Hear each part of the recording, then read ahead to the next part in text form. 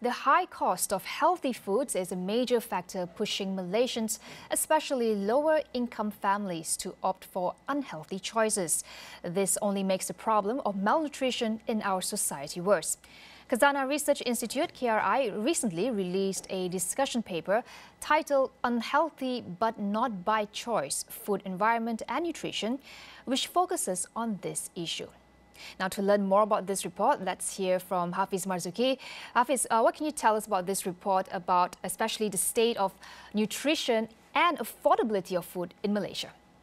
Yes, Cynthia, before we delve further into the issue, we at Astro Awani actually published a poll recently earlier this week. And the question we asked was, when it comes to eating healthily, what's your biggest challenge right now? Of course, 22.4% said they are limited by money, 11.24% said they are limited by time. And here, you can see right here, 53% said by both limited by money and time. And the worrying thing, Cynthia, is if you look here, I can eat healthily, the fourth choice, only 13.19%. What it means basically, 86 to 87% of us actually believe we can't healthy food or we don't have the choice of eating healthy food.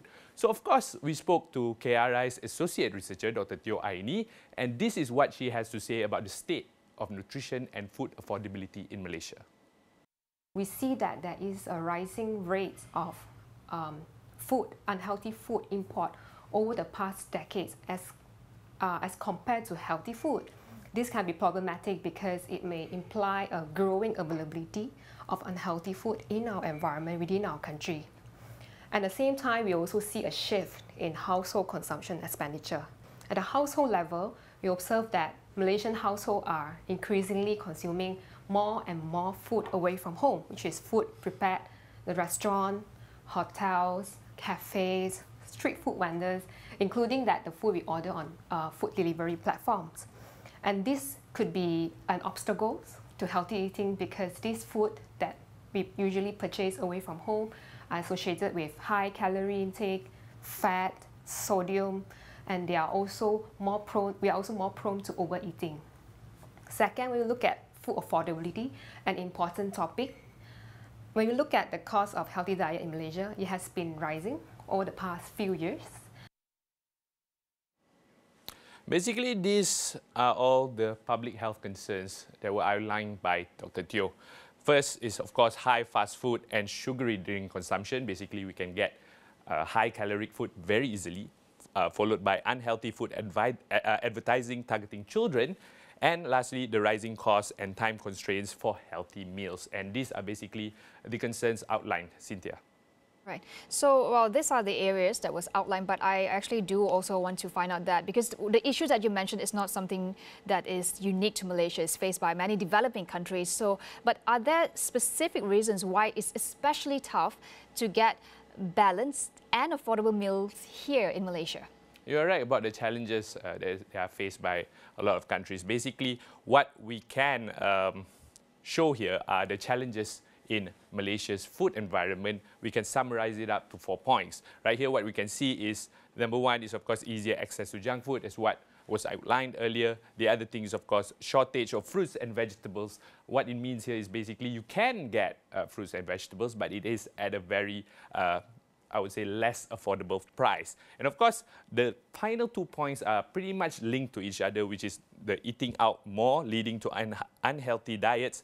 And of course, this led to less healthy choices for people with limited money or time. So these are basically the challenges in the Malaysia's food environment. And the more important thing is, Cynthia, is what do what can we do uh, to actually intervene and solve this problem? And in fact, Dr. Teo has actually outlined a couple of policy recommendations.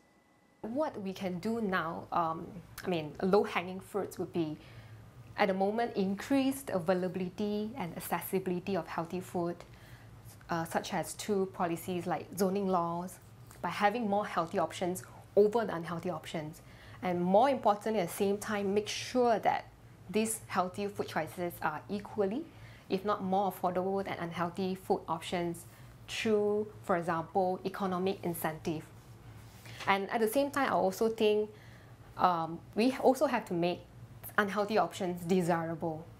Desirable as in through um, consumer education, perhaps with the use of food marketing advertising. If it delivers positive impact, it will become a good approach.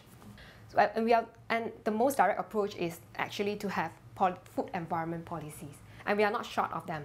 We have existing food environment policies such as the SSB tax, healthier choice logo, guidelines on the prohibition of sales of food outside school perimeters, and fast food advertising guidelines.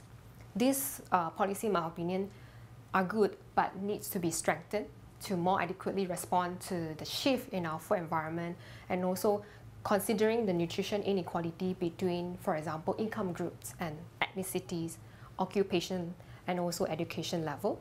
So we need also additional, a more comprehensive package of food environment policies to address this rapid shift and emerging new trends in our food environment, such as the persuasive digital food marketing that is unregulated at the moment. Basically, these are the summaries of Dr. Teo's policy recommendations. Number one, combine nutrition programs with food environment interventions. And of course, the second one is to strengthen existing programs like the Healthier Choice Logo policy, which is already uh, being run uh, right now in Malaysia. And of course, lastly, address food marketing challenges. And in fact, here we at Astro Awani thought uh, it'll be interesting to take this a step further and run it through the AI program as part of our Tanya AI initiative. We want to find out what is the next step and what can we do uh, to improve this further. Let's hear. We need to develop and enforce strict nutritional guidelines that promote the availability of fruits, vegetables, whole grains, and lean proteins. It's crucial that we also train canteen staff to prepare healthy meals. This way, we ensure everyone has access to nutritious options and the skills to make healthier choices. Other than that, we also should offer more options like low-fat dairy products, nuts, fruits, and whole grain snacks, while cutting back on sugary, salty, and high-fat foods. It's all about making healthier choices easier for everyone, and a healthier themed vending machine can work better compared to the existing ones that we know. Consider coming up with reward programs to encourage employees or students to eat healthy.